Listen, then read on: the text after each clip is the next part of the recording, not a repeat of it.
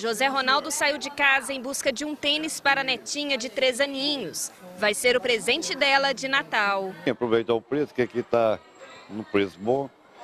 E aproveitar e levar um agrado para a netinha, né? Uma pesquisa da Confederação Nacional dos Dirigentes Logistas e do Serviço de Proteção ao Crédito revelou que o Natal deve atrair 118 milhões e 700 mil pessoas às compras, com 66 bilhões de reais injetados na economia. O levantamento mostrou que os presentes mais procurados devem ser roupas, calçados, cosméticos e brinquedos. Eu vou comprar só para os netos e pouco gastar pouco.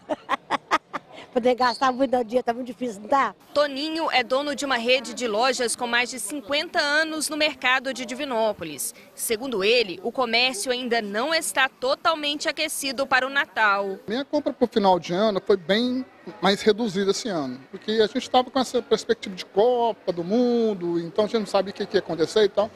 E a gente também está com essa mudança de governo também, que a gente está muito preocupado. O que, que vai acontecer? O próprio consumidor não sabe o que, que vai fazer ainda. Está todo mundo meio em cima do muro, né? não sabe o que, que vai, novos o que, que vai ser a reação do novo governo.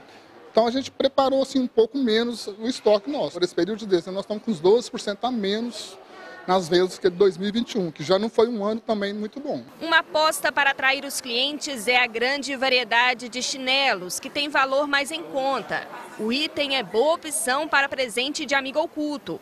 Segundo a pesquisa da Confederação Nacional dos Dirigentes Logistas, 36% dos consumidores entrevistados pretendem participar de amigo secreto com presente de até 74 reais. A gente realmente está com muito assim, chinelo, muita coisa com preço bom, né? Porque agora tem muito amigo oculto, muita festa, tudo, a gente está com preço muito bom em chinelo, tem muita coisa, muito tênis. Já esta loja de joias comemora o aumento nas vendas. Mesmo sendo itens mais caros, muitas pessoas estão aproveitando as festas de fim de ano para garantir alianças de casamento e fazer o pedido especial. A gente tem muita procura, principalmente nessa fase agora pré-natal, né, de joias que vão eternizar esse momento, que vão simplesmente né, marcar essa data. A loja aumentou o número de vendedoras e caprichou nas peças. A linha de prata também está com alta procura. Fazendo desconto super especial e dividindo até de 12 vezes, não é com juros, é com desconto.